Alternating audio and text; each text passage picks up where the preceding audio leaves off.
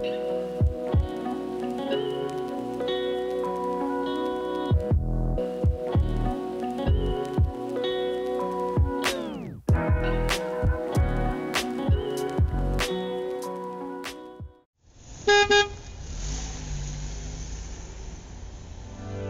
うも皆さんこんにちは。チャックバスです。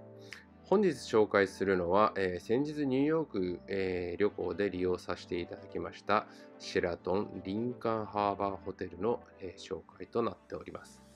まあ、こちらシェラトンホテルということでとても、え重厚感があるこちらフロントから入り口なんですけどもいいですよね。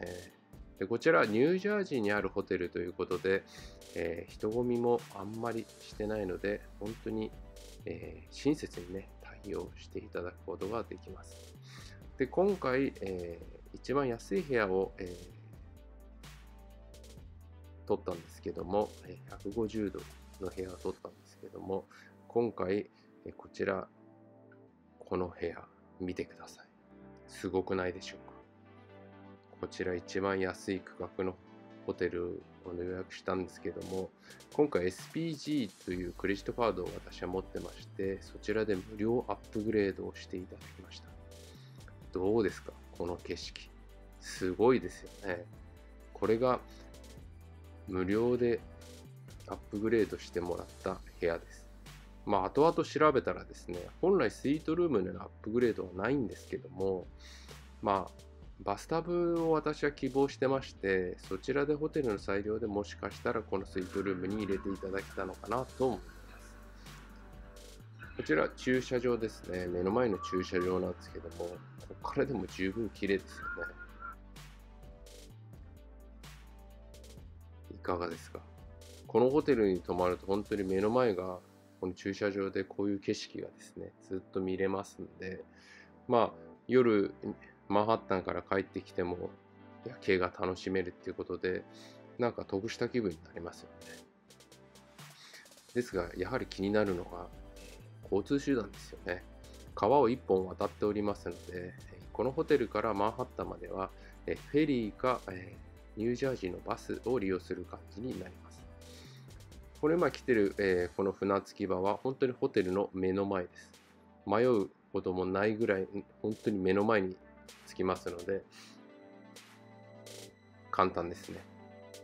でこのフェリーはですね本当に交通手段の一つとなっておりますのでデッキに出たりとかはできません。でお値段的に言うとですねこちらのフェリーと、えーバスだともう完全にバスの方が安いです。でもせっかくニューヨークに来たいということでこのフェリーもぜひ一度は乗っていただきたいですね。都心に行くのにフェリーで移動するっていうのは日本じゃあんまりないですよね。で、えー時間ですね。フェリーだと、えーマンハッタンまで18分。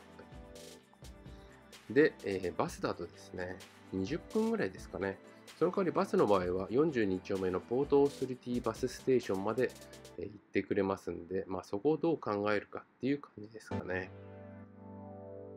まあ、バス停もホテルから全然遠くなく、歩いて1、2分なので、わからないってこと、わかりづらいってこともないと思います。で、最後にですね、一応バス停から、バスの乗車の映像を今流しておりますけども、まあ、そんなに難しいこともないですし、こちら朝7時ぐらいなんですけども、ニューヨークは日の出が遅くてですね、まだ外は真っ暗ですよね。っていうこともあってなのか、えーバスが発車するとですね、電気消えるんですね。朝のバスなの。日本じゃあんまり考えられないですよね。高速バスとかだったら、電気が消えるってことはあるかもしああると思うんですけども、通勤用の普通のバスが電気を消すって基本的に考えられないですよね。まあ、あの、せっかくこの動画を上げるにあたって、まあ、バスの移動もね、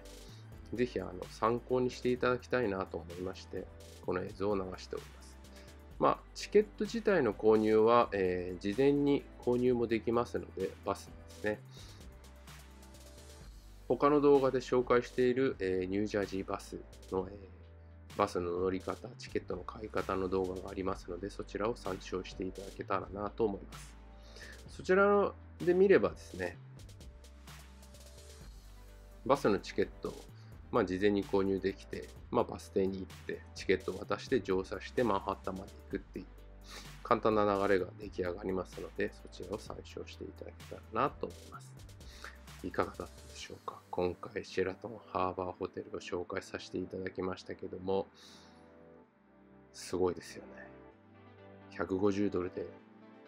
夜景。考えられないですねマンハッタン内のホテルの約50ドルぐらい安いですかね。おすすめです。いかがだったでしょうかこれもホテルの部屋からタイムラプスで撮っておりますけど、むちゃくちゃ綺麗ですよね。ぜひこれを朝早起きしてね、見ていただけたらなと思います。最後までご視聴していただきありがとうございます。living up, living up.